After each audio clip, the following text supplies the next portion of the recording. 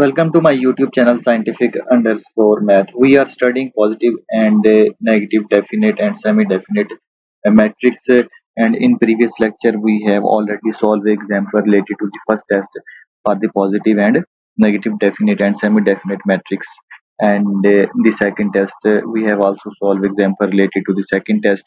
And uh, uh, I will provide link in video description for uh, all these two lectures you can watch. And in this lecture uh, we will solve example related to the third test. That is a matrix A is positive definite if it is symmetric and all its uh, uh, pivots are positive. Okay. So we have example related to the third test and uh, the third test is a matrix is positive definite if it is symmetric and all its pivots are positive. So uh, first we check the symmetry of the matrix whether the given matrix is symmetric or not. And for symmetry first we find the transpose of the matrix and uh, we can see that the matrix is equal to its transpose. This means the given matrix is symmetric matrix. Okay. So next for uh, positive definite uh, pivots are generally easy easier to calculate than the eigenvalues are just performing just perform elimination or eliminating and examine uh, the diagonal terms okay. So uh, we perform elimination and uh, we will eliminate the terms that are below the uh, pivot uh, mm, uh, pivot point or the pivot coefficient. That is in this case we have the pivot coefficient is 3 so the term that is below the pivot coefficient that is 4 we will eliminate these terms. And how we will eliminate we will eliminate we uh, will multiply the row 1 we will multiply row 1 with uh, 4 by 3 and then we subtract row 1 from row 2 this will give us a new row r2 dash. So uh, after performing the elimination we have uh, mm, this matrix and here we can see that this is 0 and now uh, we will see the, the terms that are along the diagonal. In this case we have this is the pivot uh, coefficient and in these terms we have that is the pivot coefficient. And we can see that uh, both these terms are positive. Uh, the, since all the pivots that is 3 and 3 by 2 all uh, are are positive therefore the given matrix is symmetric positive definite.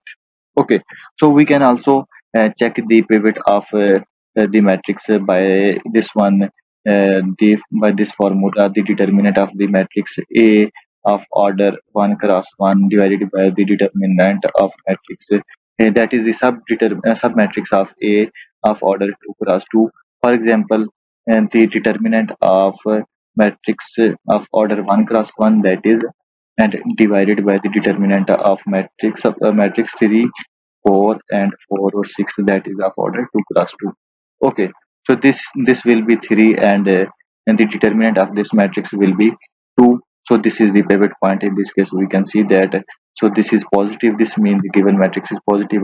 And we have example 2 and that is uh, the given matrix is this one. We can also check this the given matrix is positive definite or not. First we can see that this is symmetric matrix and uh, now we check the pivots of this one um, by this formula in whether it is positive or negative. So first the determinant of determinant of matrix A of order uh, 1 cross 1 that is uh, 2 so this will be equal to also 2 divided by the determinant of matrix A of order 2 cross 2 that is uh, this one sub sub matrix of A. This is 2 minus 1 and minus 1 and 2 so this will be equal to 2 by 3 so this is positive. And next the determinant for next uh, pivot point for third pivot point.